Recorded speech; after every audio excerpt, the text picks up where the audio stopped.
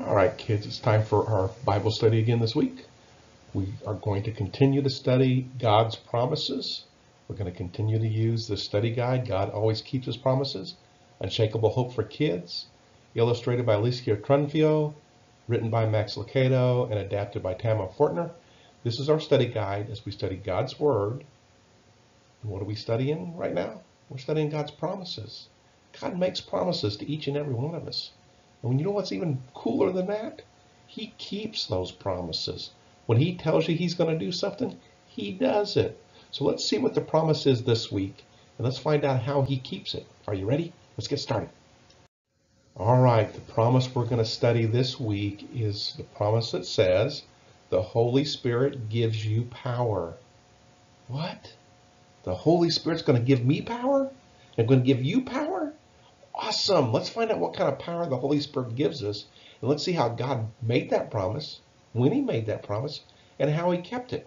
So let's study the promise that God makes, the promise we're talking about this week, which is the Holy Spirit gives you power. Awesome. Okay, it is Bible memory verse mania time. Are you ready to learn another memory verse? Learn another scripture from God's Word? So that we can memorize it, not just up here, but on our hearts. I am. Memory verse mania. What's our memory verse for the week? Acts chapter 1, verse 8.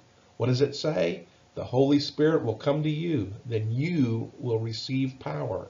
One more time. Memory verse mania. What's our verse? Acts chapter 1, verse 8.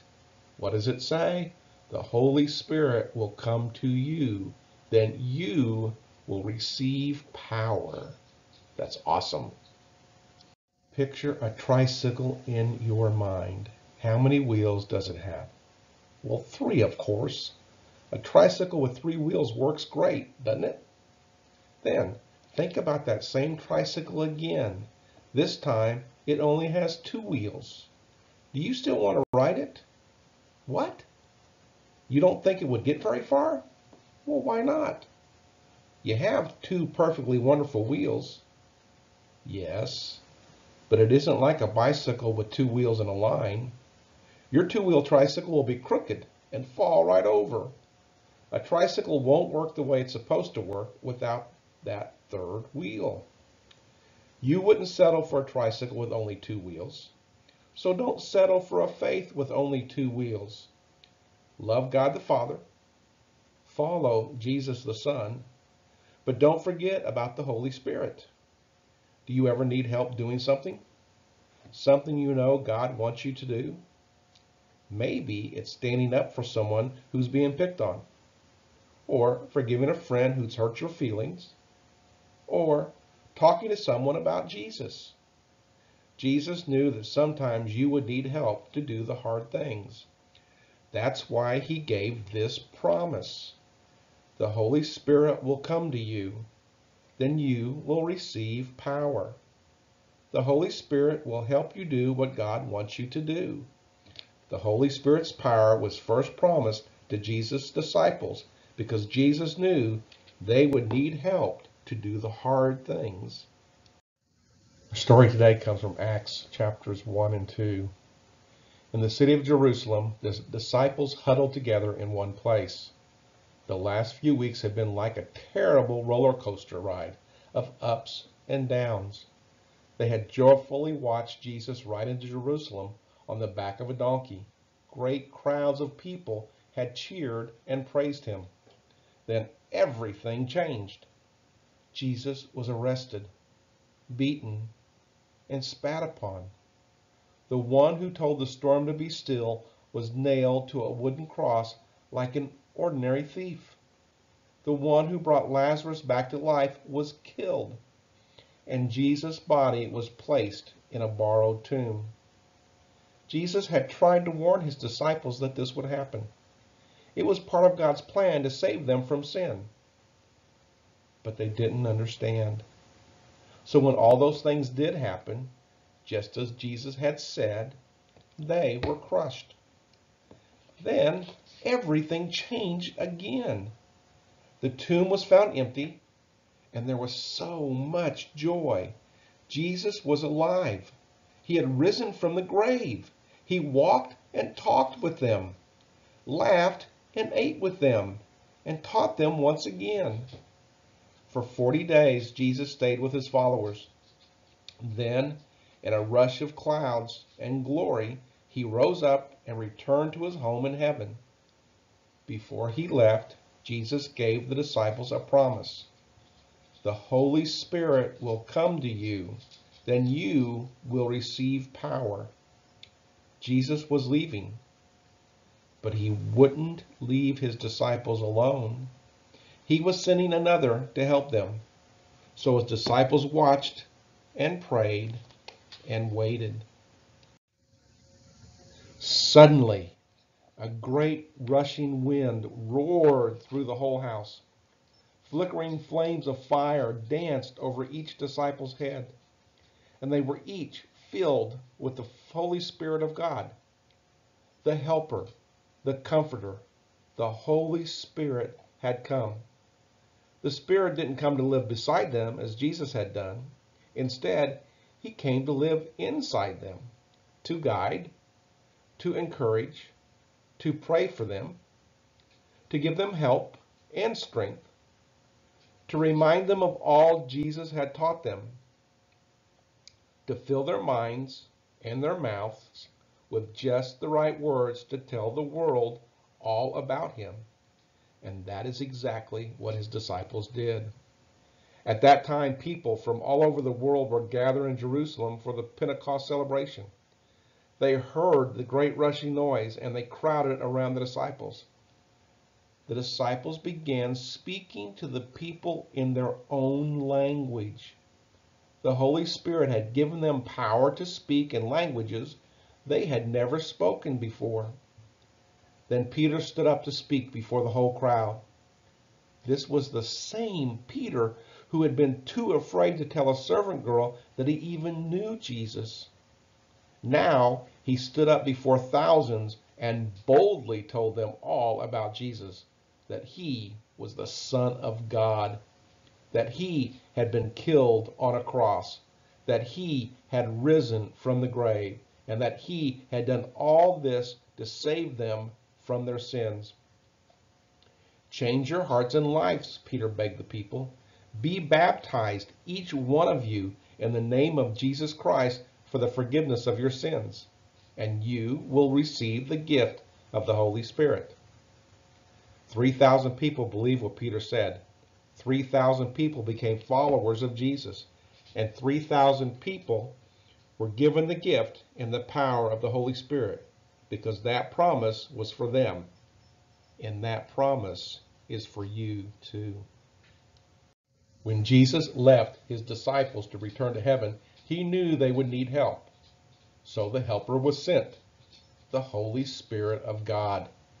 The Holy Spirit brought the power of God to live inside them, to change them, to help them think like God thinks, love like God loves, and see like God sees. And the Spirit will do the same for you.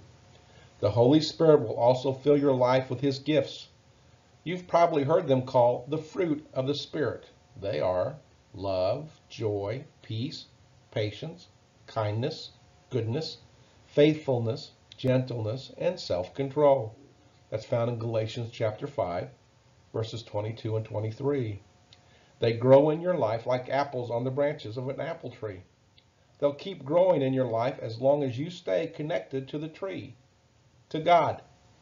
The Holy Spirit will pray for you guide you, and give you courage and strength. He will bring the power of God to work in your life. When you follow Jesus, you always have someone to help you because Jesus promised. What was that promise?